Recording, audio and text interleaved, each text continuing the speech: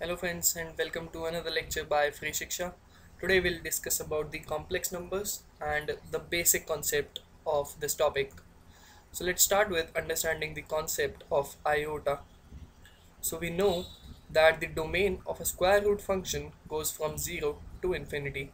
What this means is that if you have a function f of x which is equal to under root of x then it's valid for all x greater than or equal to 0.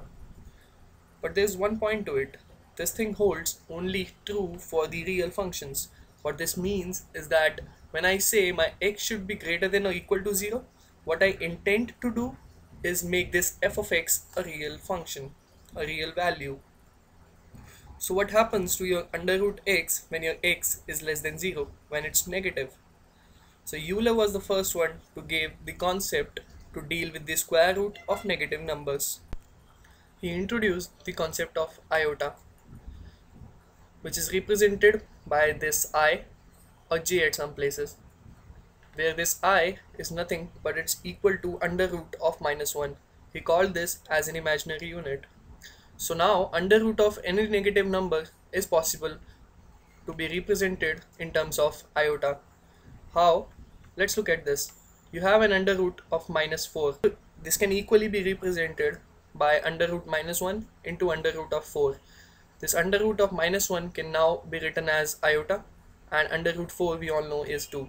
So this under root of minus 4 can now be represented as iota 2 or 2 iota and similarly under root minus 10 can be represented as iota root 10 or 10 or under root 10 iota and so on the quantities that you have in multiplication with iota this complete quantity 2 iota and under root 10 iota is known as an imaginary number or an imaginary quantity. So point to note here is that any real quantity see that root 10 and 2 are real values. When they are multiplied with iota they become an imaginary number or imaginary quantity. Now the integral powers of iota. Since iota is under root of minus 1 so iota square is obviously equal to minus 1 and your iota cube can be written as equal to iota square into iota which is equal to minus 1 as iota square is minus 1 into iota which goes equal to minus of iota. And similarly iota raised to the power 4 is nothing but is equal to 1 and for higher powers of iota what we do is we write the higher power say if the higher power is some n we write it as 4m plus r where your m is any integer and r can take value between these four 0 1 2 and 3 what happens by doing this is that if you have written your higher powers in terms of 4m plus r this can be equally represented as iota raised to the power 4m cross iota raised to the power r. Now this iota raised to the power 4m is nothing but iota raised to the power 4 cross iota raised to the power 4 cross iota raised to the power 4 till m times. And each of those iota raised to the power 4 is nothing but is equal to 1 so this complete quantity goes equal to 1 and what you are left with is iota raised to the power r. So your r can take values between 0 1 2 and 3 and depending upon that the value of iota raised to the power n will be 1 iota, minus 1 and minus iota respectively. Let's take some examples. So if you have iota raised to the power 4, I can write it in terms of 4m plus r, where my m is 1 and r is also equal to 1. This becomes equal to iota by the previous slide. If you see iota raised to the power 4m plus r becomes equal to iota raised to the power r ultimately so this becomes equal to iota raised to the power 1 which is nothing but iota. Similarly if you have iota raised to the power 10 it becomes equal to iota raised to the power 2 ultimately which is nothing but minus 1. So your r is 2 here. For iota raised to the power 15 your r is 3. For 20 your r is 0 and the value is equal to 1. What for the negative values? So if you have a negative power of iota what you can do simply is write this as 1 upon iota raised to the power 21 and then do the similar thing with the denominator. So I write this 21 as 4 cross 5 plus 1 which becomes ultimately equal to 1 upon iota.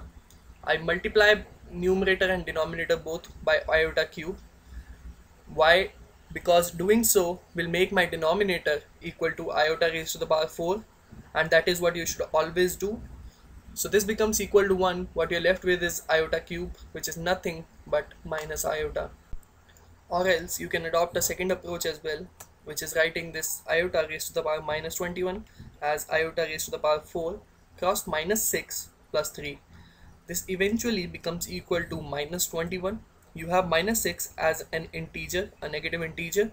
So this whole becomes equal to 1 and what you're left with is iota cube which is nothing but equal to minus iota. So your m here is minus 6 and r is equal to 3 so now let me introduce to you the concept of complex numbers so a quantity of the form z equal to a plus iota b is called a complex number where your a and b are real numbers. This a is called the real part of z, the complex number, which is represented by rez. And your b is called the imaginary part of z, which is represented by this. So now your z can also be written as real part of z plus iota times imaginary part of z. This whole quantity, as I already told you, is an imaginary number. This imaginary part of z is also a real quantity but when it's multiplied with iota it becomes as a whole an imaginary number or imaginary quantity. So for example if you have 3 plus 4 iota then your real part is 3 and imaginary part is 4 another example could be your z equal to 5 now here the real part of z is 5 and the imaginary part of z is equal to 0 so even your real values can also be written in terms of this complex number or the standard form as we call it. Similarly, if you have z equal to 6 iota, then its real part is 0 and imaginary part is 6 but this can still be written in terms of complex number. In the next lecture, we'll have a look at the algebra of complex number, the modulus and conjugate of complex number, finding the square root of complex number and some more examples and in the coming lectures as I'll proceed with this topic I'll discuss the cube root of unity and the different representations of complex numbers and then we'll look at some of the typical problems also that come from this topic. So that's all we had from this topic. Thank you so much. And then we'll look at some of the typical problems also that come from this topic. So that's all we had from this topic. Thank you so much